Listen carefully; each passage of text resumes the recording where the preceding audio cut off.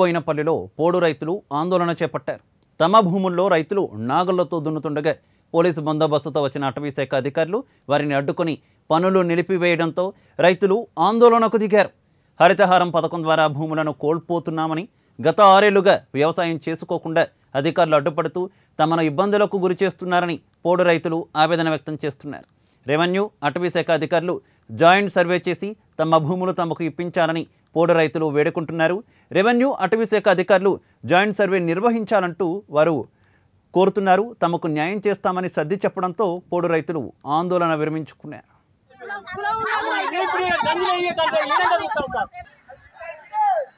మేము గత ముప్పై ఏళ్ళ బట్టి ఈ భూములు చేసుకుంటా ఉంటే మమ్మల్ని ఫారెస్ట్ వాళ్ళు ఇప్పుడు ఐదు సంవత్సరాల బట్టి మమ్మల్ని ఆగమాగం చేస్తారు.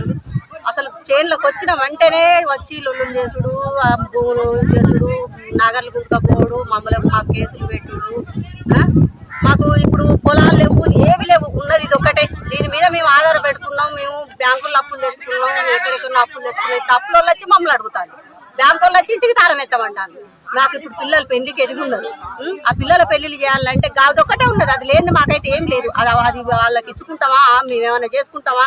ఏదో రకంగా చేసుకుని ఆ పిల్లలకు చేద్దామని అంటే ఇప్పుడు ఐదేళ్ళ బట్టి మాకు భూములు లేకుండా చేసినప్పుడు మేము మా పంటల మీద ఆధారపడి ఉంటే మేము ఎట్లా బతకాలి? మేము ఏం చేయాలి? మా పిల్లల పెళ్ళిళ్ళు ఎట్లా చేయాలి?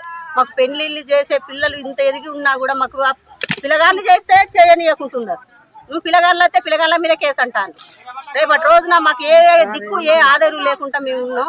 మాకు ఇప్పుడు భూముల మీద ఆధారపడి కొంతమంది పెళ్ళి పెళ్ళిళ్ళు చేసిండ్రు. ఆ పెళ్ళిళ్ళు చేసి వాళ్ళ కట్నాలు భూములు చూపితే ఆ కట్నాలకు ఇయ్యలేక వాళ్ళు పిల్లలే ఉరి పెట్టుకొని చచ్చిపోయింది మాకు భూమి వస్తేనే మేము బతుకుతాం. లేకపోతే మాకు ప్రతి ఒక్కరు ఏ పొలంలో వాళ్ళమే మేము మేము చస్తాం మేము మందు డబ్బాలు తాగుతాం సత్తాం. అప్పుడు ఏ మహారాష్ట్ర వస్తాడో ఎవడొస్తాడో ఏ గవర్నమెంట్ వచ్చి మమ్మల్ని ఆదుకుంటారో కావాలి మాకు. నేను గ్రామ ఉన్నటువంటి ఏదైతే ప్రభుత్వ భూమి ఉందో ఈ ప్రభుత్వ భూమిని ఇక్కడ దాదాపు ఒక అరవై డెబ్బై కుటుంబాలు మేము గత ఇరవై ఐదు ముప్పై సంవత్సరాలుగా కాస్తు చేస్తూ దీంట్లో పంటలు పండించుకొని మా యొక్క కుటుంబాలను పోషిస్తున్నటువంటి పరిస్థితి ఏర్పడింది. అదేవిధంగా ఇది ఒక రెండు వేల పదిహేను నుంచి ఈ భూమిని ఫారెస్ట్ అధికారులు మా వెంటబడి ఇది మీ భూమి కాదు బాబు ఇది ఫారెస్ట్కు సంబంధించిందని చెప్పి మమ్మల్ని ఇబ్బందులు పెడుతూ ఈ నాలుగు సంవత్సరాలు మమ్మల్ని అరకొర చేస్తూ మమ్మల్ని పంటలు వేయకుండా మమ్మల్ని ఇబ్బందులు పెడుతున్నారు. అయినప్పటికీ కూడా మేము ప్రతి సంవత్సరం ఏదో ఒక చేస్తూనే ఉన్నాం. పెసర్లు బొబ్బెలు వేస్తున్నాం ఎందుకంటే మాకు పంట రాకపోయినా పర్లేదు. ఈ భూమి మా కాస్త ఉండాలి. మా పద్ధతిలో ఉండాలి అనే ఉద్దేశంగా ఇది చేసినాం. అదే విధంగా మామిడి మొక్కలు కూడా మేము ఏం చేసినాం?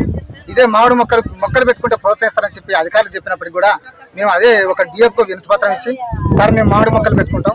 పలసాన్ని మేము పొందుతాం. భూమి అలాగనే ఉంటుంది. అని చెప్పి ఆ విధంగా కూడా మేము మొక్కలు పెట్టుకుంటాం. మొక్కలు కూడా